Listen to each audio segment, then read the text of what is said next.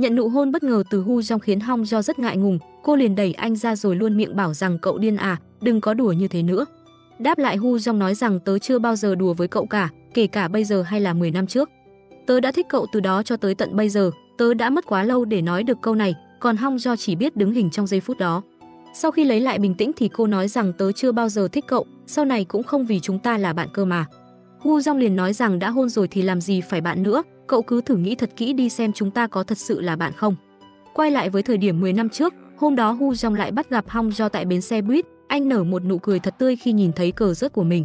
Hu Jong đã chuẩn bị rất nhiều cuốn sách mà cô ấy thích, trong lúc định mang sang cho cô ấy thì mẹ anh gọi điện đến. Bà ấy thông báo rằng trong tháng này chúng ta sẽ sang Mỹ, mẹ đã nói chuyện với nhà trường rồi và ngày mai con không cần đi học nữa đâu. Nghe xong Hu Jong chỉ biết chết lặng, mặc dù anh không muốn đi nhưng chẳng thể nào làm trái được. Vì quá tuyệt vọng nên Hu Jong đã quyết định không gặp Hong Jo, mặc cho lúc đó cô ấy đã nhìn thấy và luôn miệng gọi tên anh ở bên kia đường. Hong Jo cầm một bản kế hoạch trong tương lai của bản thân trên tay, cô háo hức chạy sang để thông báo cho Hu Jong biết nhưng lại không thấy anh ấy đâu cả. Sáng hôm sau Hong Jo tiếp tục cầm bản kế hoạch đó lên lớp của Hu Jong, cô đứng hình khi nhìn thấy dòng thông báo trên bảng, Hu Jong đã nghỉ học để sang Mỹ định cư. Anh ấy lặng lẽ rời đi mà không nói một câu từ biệt, điều đó khiến Hong Jo cảm thấy khó chịu cho đến tận bây giờ. Trở lại với thực tại Hu Jong vừa rửa bát vừa đứng cười một mình trong vai một kẻ si tình, nghĩ đến khoảnh khắc chạm môi Hong do khiến anh cứ dạo dực trong người. Đúng lúc đó chú Hút đi qua làm cắt ngang đi dòng suy nghĩ của anh, chú ấy hỏi Hu Jong về chuyện quay lại Mỹ. Chú Hút cũng hiểu được vấn đề mà cháu trai mình đang gặp phải, thế nên chú ấy khuyên Hu Jong cứ quay về đi.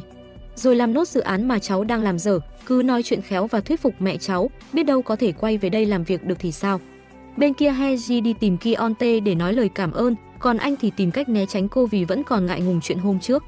Tại đây Heji muốn mời anh đi ăn gì đó vào ngày mai, đó như thể để thay lời cảm ơn, còn Kionte khờ khạo chỉ biết ngại ngùng trong tình cảnh này. Bên này Hu Jong nhận được tin nhắn từ Sang Pin, anh ấy gửi bức ảnh của Hong Jo vì cô ấy đang ở quán mình. Khi Hu Jong đến nơi thì Hong Jo đã rời đi rồi, cô ấy đã chửi Sang Pin một trận vì nhắc đến cái tên não cá vàng lưu trong danh bạ. Cái tên não cá vàng đó chính là Bang Junho, anh ta liên tục gọi điện nhắn tin nhưng Hong Jo không hề hồi đáp.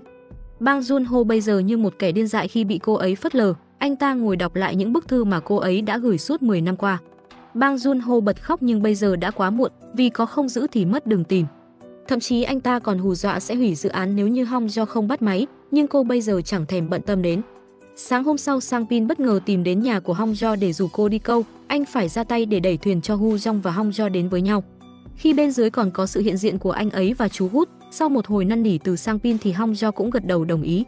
Ngồi trên xe Hong Jo luôn tránh mặt Hu Jong vì vẫn còn ngại ngùng chuyện hôm qua, lâu lâu cả hai chỉ lướt nhìn nhau mà chẳng thốt ra được câu nào.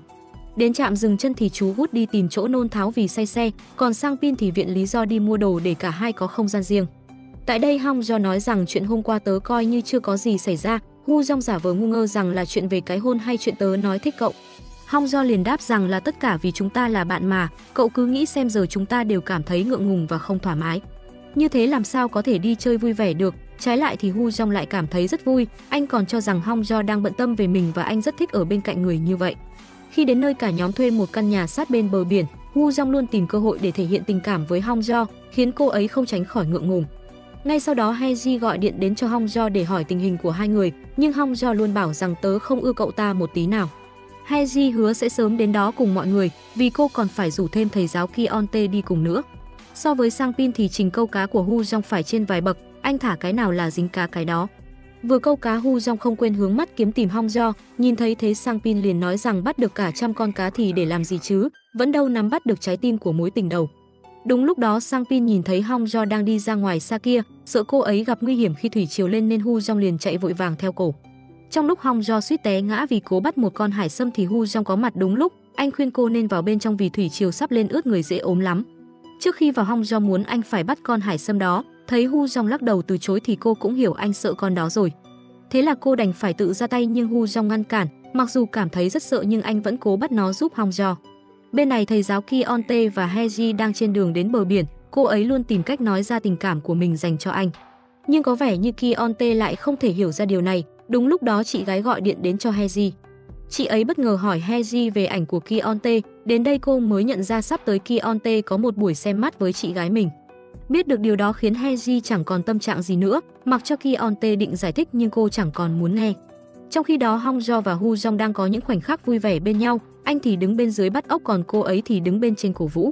Dường như chẳng còn khoảng cách gì giữa hai người nữa, sự ngượng ngùng lúc đầu cũng dần tan biến từ lúc nào không hay. Trong lúc cả hai kéo một con bạch tuộc mắc kẹt trong đá thì ngã ra đằng sau, khoảnh khắc này vô tình khiến Hong Jo nằm lên người của Hu Jong. Sợ anh ấy lại hôn mình thêm một lần nữa nên cô liền bịt miệng anh, rồi liền đứng dậy rời đi trong sự ngại ngùng thường thấy. Tôi đến cả Heji và thầy giáo Kionte đã có mặt ở đây. Heji tỏ ra vô cùng tức giận với Kionte, cô băm tỏi đến nỗi phải cảm thấy thương xót cho chiếc thớt. Nhìn thấy thế Hong Jo liền kéo cô bạn thân ra bên ngoài để hóng gió. Tại đây Heji lại nói rằng tớ và anh Kionte đâu có tư cách gì mà cãi nhau. Từ đầu bọn tớ đã không phải một đôi rồi, tớ không muốn cậu vì tớ mà từ chối tình cảm của Hu Jong nên mới diễn như thế. Hơn nữa tình cảm của tớ và Hu Jong cũng chỉ đến vậy thôi, với tớ thì cậu quan trọng hơn cậu ấy rất nhiều mà. Nhưng Hong Jo vẫn muốn biết hôm nay Heji đã gặp phải chuyện gì, đến đây Heji đành phải kể cho cô bạn thân nghe hết mọi chuyện. Lúc ở trên xe Kionte đã giải thích cho Heji hiểu chuyện anh đi xem mắt với chị gái cô là có thật. Nhưng đó là sự sắp đặt của bố Heji chứ anh không muốn, đồng thời anh hứa sẽ nói chuyện lại với bố và chị gái cô sau. Ngay sau đó Heji hỏi Kionte rằng anh có muốn hẹn hò với tôi không, nghe xong khiến anh ấy giật mình. Mặc dù có tình cảm với Heji nhưng Kionte lại phủ nhận trong lúc đó, điều này khiến Heji tụt hứng và bực tức với anh cho đến bây giờ. Lý do mà Heji thích Kionte vì anh ấy có một thân hình vạm vỡ, mặt khác anh ấy có một tâm hồn trong sáng và thật thà. Khuya hôm đó Hong Jo có một giấc mơ về gia đình mình, từ nhỏ cô là một đứa trẻ bất hạnh, với lý do gì đó mà mẹ cô đã bỏ cô mà đi. Kể từ đó bà ấy không còn quay lại nữa, rồi khi trưởng thành Hong Jo lại phải đối diện với một chuyện tương tự. Anh chàng Bang Jun Ho mà cô thần tượng cũng rời đi theo một cách giống y hệt. Lúc đó Hong Jo chỉ thẳng mặt anh ta rồi nói rằng anh đừng bao giờ xuất hiện trong giấc mơ của tôi nữa.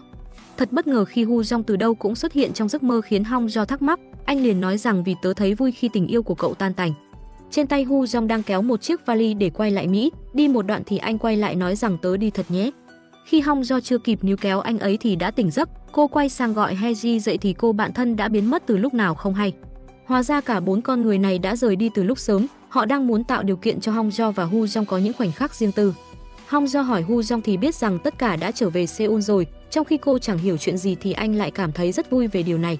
Nhìn tấm lưng của Hu Jong khiến Hong Jo nhớ lại giấc mơ lúc nãy, cô thật sự sợ anh lại rời xa mình không một lời từ biệt như 10 năm trước. Không nói một lời Hong Jo từ từ tiến về phía Hu Jong, cô chủ động trao cho anh một nụ hôn ngọt ngào, nó như thể là câu trả lời chính thức đáp lại tình cảm của anh ấy vậy. Mặc dù là người chủ động nhưng Hong Jo vẫn cảm thấy rất bối rối khi tự nhiên mối quan hệ của cả hai lại tiến triển theo hướng này. Hơn nữa trước đây cả hai còn không thân với nhau một chút nào, thế nên Hong Jo cần có thời gian để làm quen với mối quan hệ này. Ngay sau đó Hu Jong dẫn Hong Jo đi ăn, anh vẫn chưa hết vui sướng khi cô ấy đã đáp lại tình cảm của mình. Ngồi cả buổi Hu Jong chẳng chịu ăn gì mà cứ ngắm nhìn đám đuối Hong Jo, thậm chí chú hút gọi điện đến anh cũng chẳng thèm bắt máy. Khi bầu trời chuyển tối thì cả hai mới quay lại Seoul, Hu Jong vẫn chưa chịu vào nhà vì vẫn muốn đưa Hong Jo đi ăn thêm bữa tối. Nhưng cô ấy nói rằng cậu đã lái xe vất vả rồi nên hẹn khi khác, tớ sẽ gửi danh sách nhà hàng ngon cho cậu sau. Đang chuẩn bị đến giây phút lãng mạn thì chú hút từ đâu xuất hiện, chú ấy còn trêu đùa hai đứa muốn làm gì thì cứ tiếp tục làm đi. Vào trong nhà chú Gút nhắc đến chuyện mẹ của cháu vừa gọi đến đấy, cháu vừa nộp đơn nghỉ việc ở trụ sở chính thật à. Nhưng bây giờ Hu Jong không thể nào quay lại Mỹ được nữa, vì anh đã quá thích Hong Jo rồi, dù mẹ anh có xử lý ra sao thì cũng đành chấp nhận. Ngay sau đó Hu Jong gọi điện cho Hong Jo vì muốn lên phòng gặp cô, vì tóc tai chưa chảy chuốt nên không muốn gặp anh ấy trong lúc này. Cô viện lý do sắp đi ngủ rồi nên khuyên anh quay về đi, còn anh thì đứng bên dưới cứ nhắc đi nhắc lại câu tớ thích cậu, nghe xong khiến con tim của Hong Jo như tan chảy ra. Sáng hôm sau Hu Jong gọi cô ấy xuống ăn sáng nhưng cổ đã ra ngoài mất rồi. Hôm nay Hong Jo theo chân Heji vì cô ấy muốn đi mua sắm.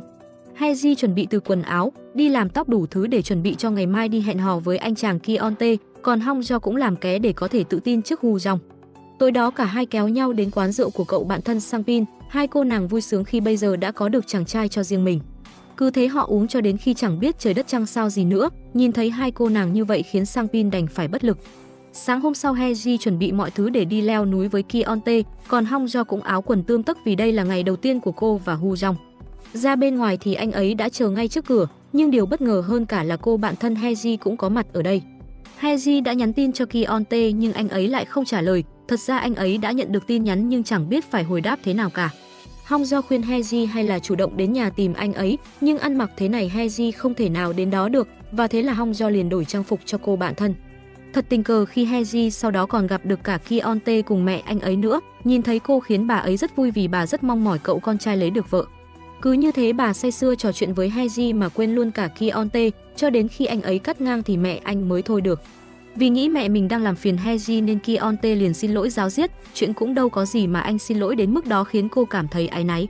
Cô cho rằng bản thân tự tìm đến đây mới là điều thất lễ, và thế là cô đành lặng lẽ ra về khi chưa thể nói gì với Kionte. Bên này Hong do hỏi Hu Jong rằng cậu thích tớ ở điểm nào vậy, anh chẳng biết phải trả lời làm sao nên cứ ngồi cười, trong khi cô chẳng cảm thấy buồn cười ở chỗ nào cả. Một lát sau Hong do hỏi anh ấy rằng, Hu Jong à, bao giờ thì cậu định rời đi, nghe thấy cô ấy gọi tên mình khiến trái tim anh thổn thức. Bây giờ Hu Jong đã biết câu trả lời rồi, cứ mỗi khi cậu gọi Hu Jong à hay Hu Jong ơi là khiến tớ tan chảy. Tớ cũng không biết từ bao giờ nữa nhưng tớ luôn chờ đợi cậu gọi tên tớ, lúc đó tớ đã biết rằng thì ra tớ đã thích cậu rồi. Dù là 10 năm trước hay bây giờ thì cảm xúc của tớ vẫn luôn như vậy. Hu Jong tiến về phía Hong Jo rồi kéo cô ấy vào người mình. Lúc cả hai định trao cho nhau nụ hôn ngọt ngào thì chú Hút gọi đến, chú ấy bảo Hu Jong phải quay về gấp vì có chuyện khẩn cấp. Ngay lập tức Hu Jong liền đưa Hong Jo về nhà, cô vào bên trong tìm lại một thứ mà chưa thể đưa cho Hu Jong xem.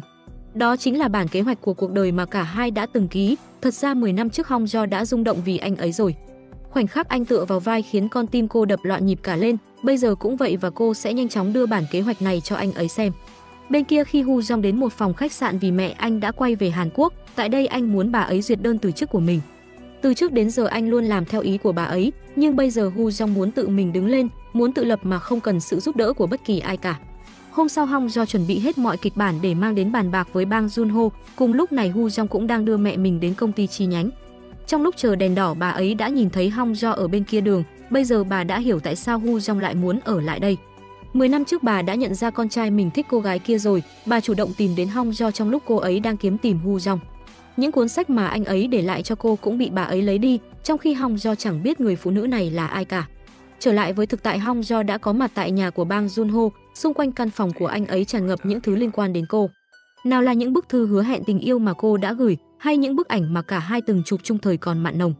Việc bất ngờ rời xa Hong Jo 3 năm trước đều có lý do cả, Bang Junho đã mắc một căn bệnh gì đó mà không thể tiết lộ cho cô ấy biết.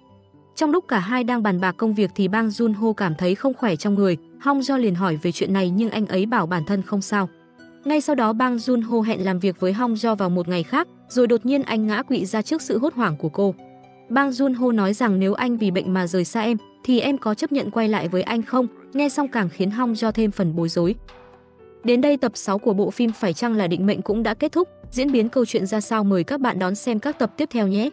Xin chào và hẹn gặp lại trong những video lần sau.